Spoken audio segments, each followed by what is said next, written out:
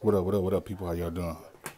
Well, I come to talk about making making a video for YouTube, making YouTube videos. Um, I know that there's a lot of factors in making YouTube videos, um, and then there's a lot of factors that you don't need to worry about making YouTube videos.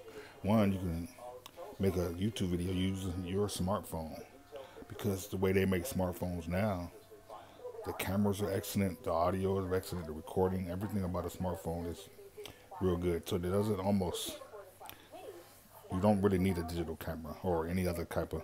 I mean, you can you can buy you there. Are good digital cameras, there are good camcorders, along with the cell phones that you can use to make good quality videos.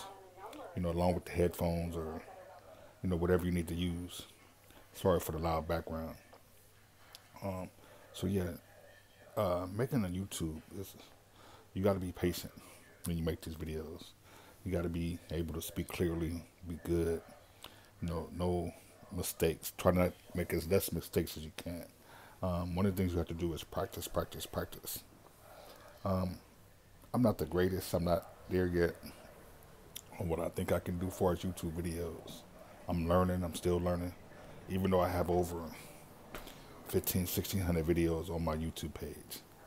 Um, some get views, some don't. I'm getting consistent views, whether it be two or three views, whether it be 10 or 15 views, 20 or 30 views. Um, right now, I only have 732 subscribers and uh, 118 watch hours. I had a over 4,000 watch hours, but then over time I started losing those watch hours. Um, so, but yeah, you have to be engaged. You have to be patient. And some people can make that one video and their channel would explode.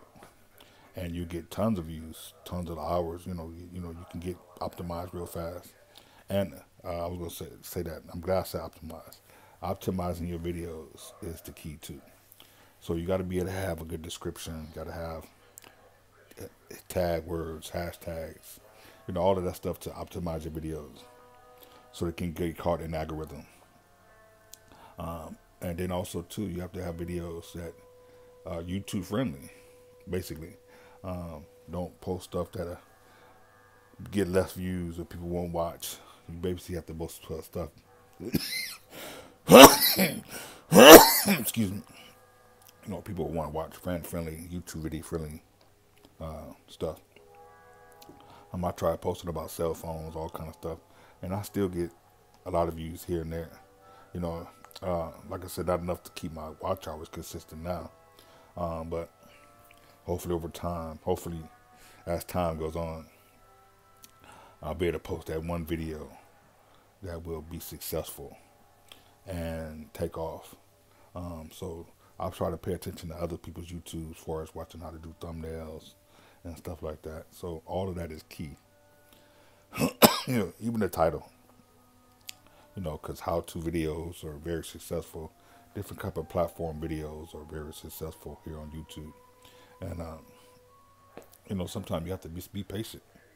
You know, like I like uh, my OtterBox is for my cell phones. I I'm, I'm into iPhones, um, but yeah, I always get an OtterBox case for my phone. So, but yeah, you know, you just have to take your time and be creative and do some things that people want to see, people want to watch you know, over time.